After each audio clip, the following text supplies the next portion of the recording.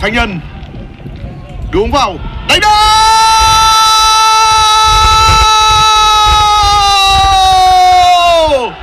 Bàn thắng dành cho U23 Việt Nam Và đó là Nhâm Mạnh Dũng.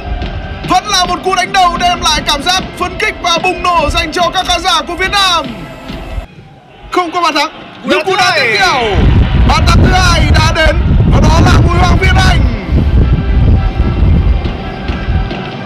cú và không sao cả. Điều quan trọng bây giờ tỷ số đang là 2-0 và U20 Việt Nam thi đấu hơn người trong cả hiệp hai ở phía trước.